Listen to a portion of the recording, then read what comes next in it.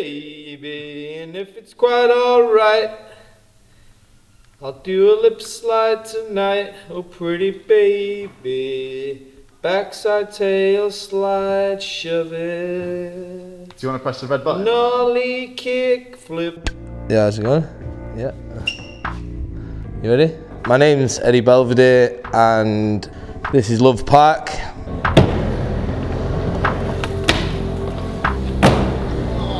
We've just finished building it. It's been hell of a month. We got the keys literally one month ago. Completely like whipped out this entire floor, cleaned up the area, painted the walls, sorted the lights out, stripped all the ventilation. And then Trev and the rest of his crew came in and they've just built this amazing low impact fun zone. It's been a dream of mine for a while to do something like this and it's happened. I'm going to be coaching here. We've already had loads of bookings. People are super keen, like people who I used to teach at my previous job missed kind of having me as a coach for a while. That they've contacted me, and hopefully in the future, like when Cora comes back from Palestine, she's going to come and teach here. So we'll have a female coach, which is super important for a skate park to have. Obviously, we teach everybody. We do lessons for anyone. Like, it doesn't matter how old you are. We've got a lad who's like 19, who's just booked some lessons with us. In the past, I've taught people as old as 60 years old, so kind of whoever wants to learn to skate, this is the place to come. Safe environment, everything's super low, there's nothing too big and intimidating.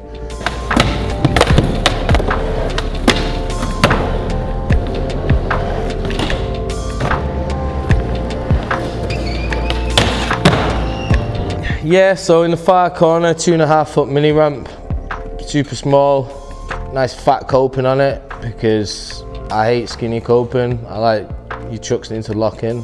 That's just really beginner friendly. Three foot quarter, channel gap with bank to wall ride, kind of bit of a classic skate obstacle. There's a slight corner on the left side quarter, so you can kind of pump round into front side grind, back side grind into the bank. The driveway, it's like pretty small, it's only like a foot high. It's got an along and down rail, along and down hubba ledges, box coping, so it's not as bitey as like the regular angle iron you usually get in wooden skate parks. We've got a nice like slappy up, slappy down on the edge of the driveway, and then like a foot high block, which is kind of like a mani pad as well, it's wide enough. This is kind of like a multi-tool. This whole middle section's really like so many ways to skate it. Nice long board side block in the middle, nice square edges. And then on this side, we got the, the slappy hip, kind of based on, there's a spot in Paris that you see a lot of people skate. Just a real little small hip, little ledge, just super fun.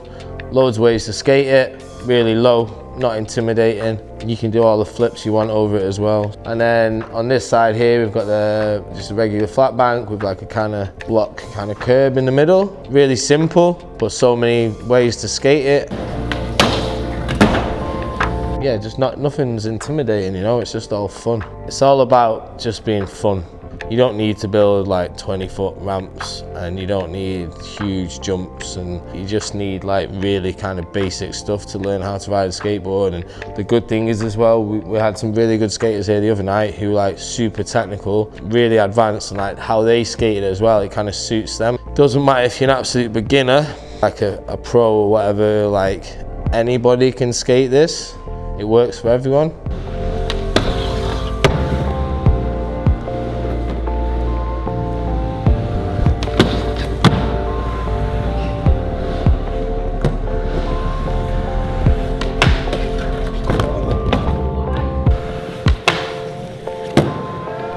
Like to thank my mum and dad.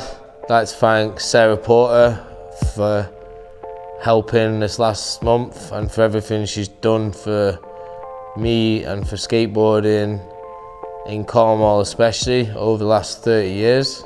You'll all be pleased to know that she's going to be working here at this skate park with me and she's very much a part of it.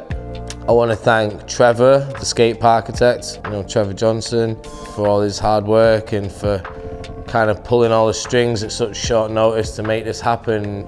We had a real tight window and it, he made it work. Massive shout to Marlboro Pete because he obviously he stayed on after the job the initial job was kind of meant to finish and worked to to, to finish this skate park and so we kind of open tomorrow Rybo and Marcus couldn't have done it without them too Jacob.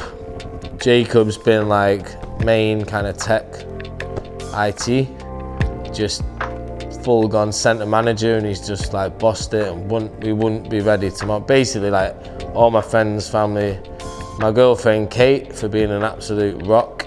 Without her, like none of this would have happened. Danny Parker, who's been filming a documentary, it's been rad having him around and big love, Love Park. Come and check us out.